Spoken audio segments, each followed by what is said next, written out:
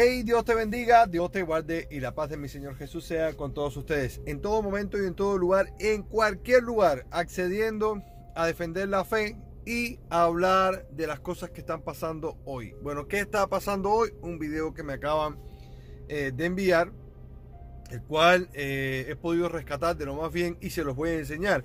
Y esto va dedicado a cada católico que se mofa, que se ríe y que dicen que las danzas de los evangélicos eh, que las obras teatrales son puras payasadas y que te dan tu dislike. ¿Por qué? Por denunciarlos a ellos por las cosas que hacen. Bueno, les dejo un videito aquí que si no es idolatría, entonces será parte de las payasadas que hacen en sus eh, templos católicos. Bueno, vamos a verlos y comentamos al final rapidito.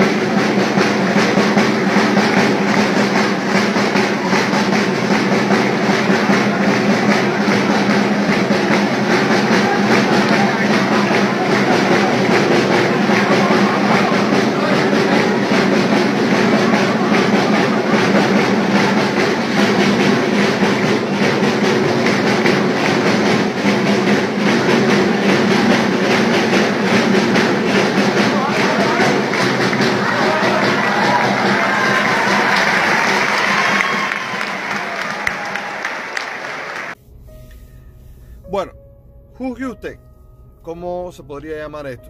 Si una danza evangélica es tan deplorable a los ojos del Señor, ¿qué podría ser estos eh, muñecos? Estos, estas representaciones, ¿verdad? Que para la cual se pasean, bailan, ¿verdad? Eh, en los templos católicos, como hemos podido ver en este eh, video yo dejaría que usted le pusiera el nombre. Para mí, esto, aparte de una payasada, es una gran idolatría.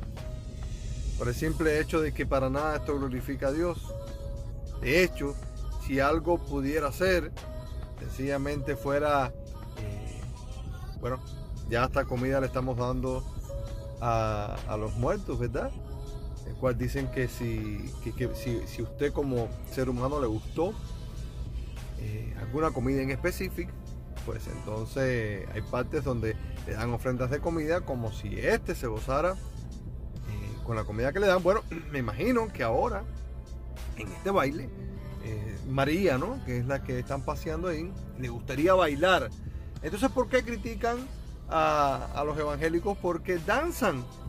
Ah, entonces póngale el nombre a usted mismo y usted analice y piense si esto glorifica a Dios. Dice la palabra que todo lo que hagan de dicho o de hecho, que se ha hecho como para Dios. Para mí, Isaías 46, 6, 9 tiene la respuesta a esto. dice así: sacan oro de la bolsa y, pesa, y pesan plata con balanza, alquilan un platero, o sea, en este caso un yesero, para hacer un Dios de ellos. Se postran y lo adoran. Bueno, mi hermano Pedro, no, no se postran y lo adoran. Bueno, ya por lo menos bailan, estamos adelantando. Se lo echan sobre los hombros.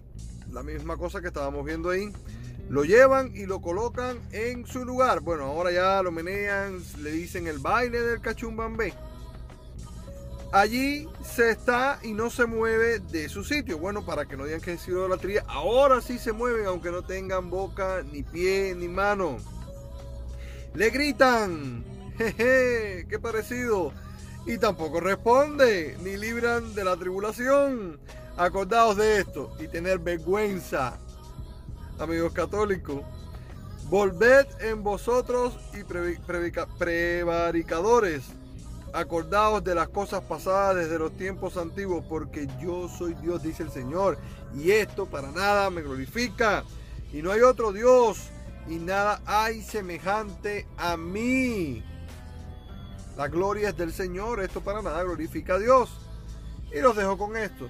Le hace su libro de Baruch en el capítulo 6, en el cual habla de cosas parecidas a esta. Así que ahí se los dejo. Usted analice. Si esto no es más payasada que la que hace en Merezco. Bendiciones.